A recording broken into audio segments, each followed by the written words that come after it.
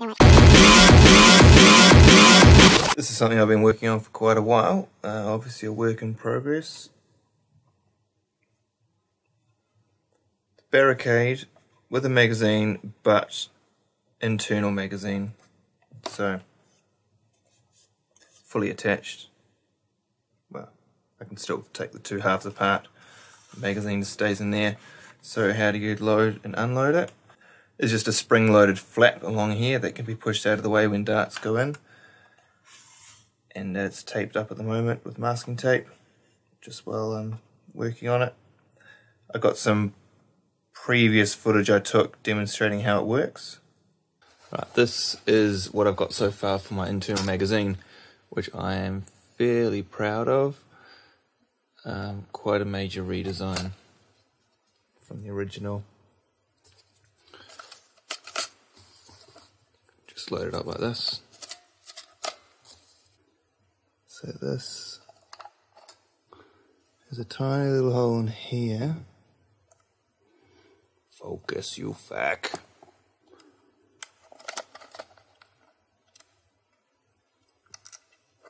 Comes down there.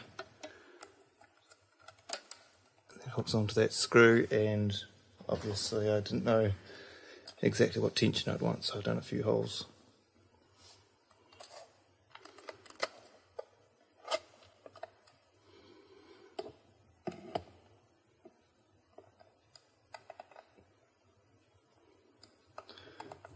So I do this in slow motion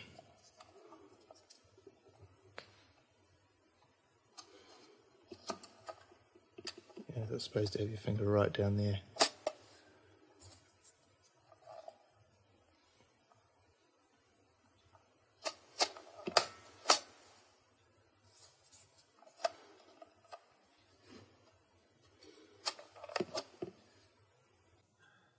I've designed it so that it will run off three IMRs. I decided not to do LiPo because I want to be able to just leave batteries in it and not have to worry about it. Also, um, I don't want to have to repeat the process of last time where I extended the battery covered uh, with my previous barricade mod because that was quite a hassle and then it sticks out and looks ugly. So I like how this is going to be flush. And this is obviously a worker magazine I've used latex to mask off the, the window there for when I'm painting and then I'll peel it away at the very end so that's going to preserve the transparency of that. It's a good way of masking. Safety switch is going to be functioning but it won't be the master power switch so there won't be high current going through that. This section here is taken from a deploy. It's the same on the other side. And so is this here. I think it's a separate. Oh no, that's the same piece. So I thought that gave it a nice uh, aesthetic there. Just hold like that. That's how I tend to hold Nerf guns anyway. So this cover, you can see I've cut away the jam door there. That just sits in there. And that will be glued in place eventually. I wanted to leave it as late as possible to make sure I don't uh, get into a situation where I can't paint easily. Flywheels, uh, original motors, but I'm just replacing the flywheels with rapid strike flywheels.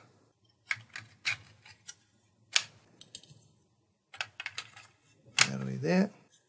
I cut down the muzzle, partly because I just don't need it to be that long, and partly because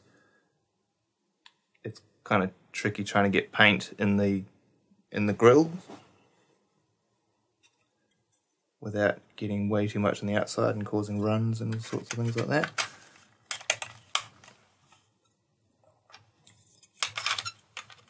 So it'll be like that. I haven't even put this together yet, so I'm not sure how terrible that's going to look. Yeah, might look stupid actually. And so this is where the circuit will go. It's going to fit. I'll cut that bit out or just leave it diagonal. You can't see there, so just probably just have it sitting loose like that. Uh, this this here helps hold the, um, it presses up against the magazine there to keep it centered, so don't really want to cut that away. Yeah, I kind of regret cutting that down now because it looks stupid. Should have probably left at least one grill hole. Oh well. Live with it. Oh, that's right, and I took a while shaping this little piece here. That piece just slots right in there.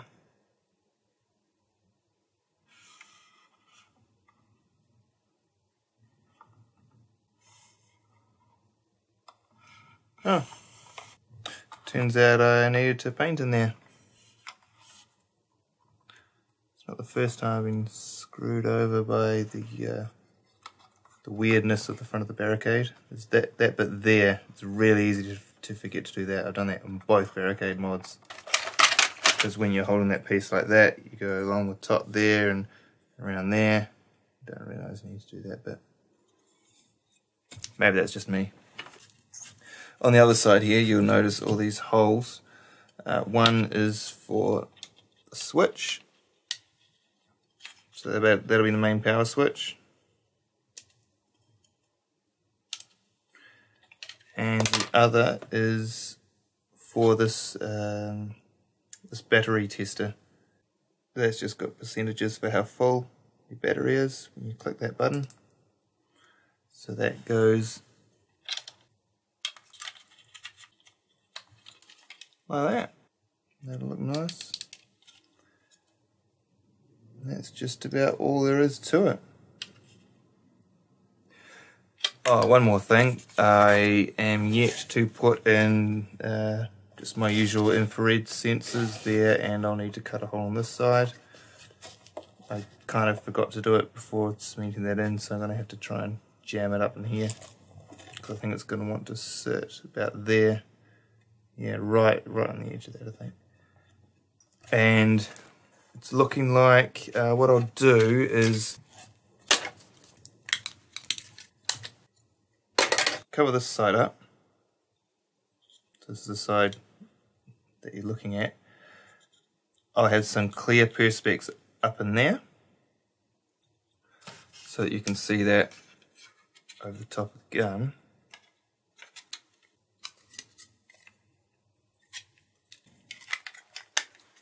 Sight pitch would look like that.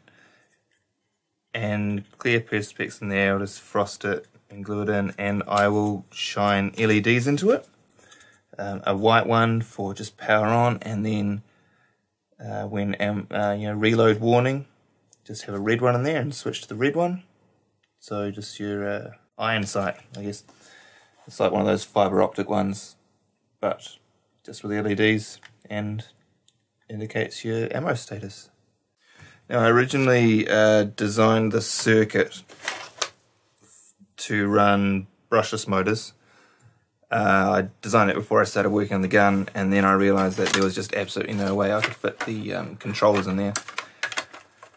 So that's why I stuck with the barricade motors. I decided I wanted to keep using, you know, because these are expensive and they take ages to get made, so I wanted to use the circuit board even though I'm not using brushless, which meant that I needed a MOSFET, and I've put it in here.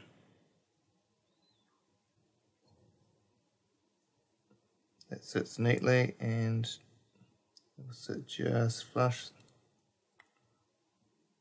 And there's even a diode just in there.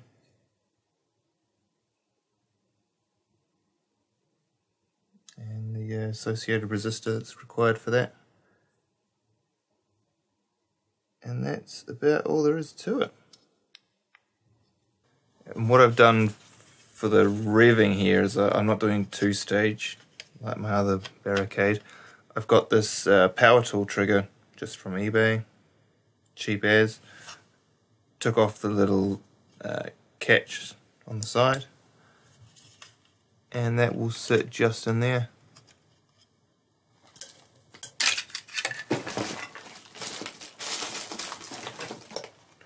And then This is still masked up for uh, painting, but it'll be like that.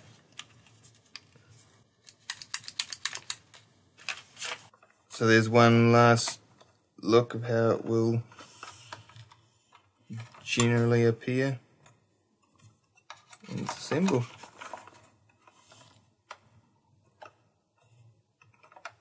Can't wait to finish it.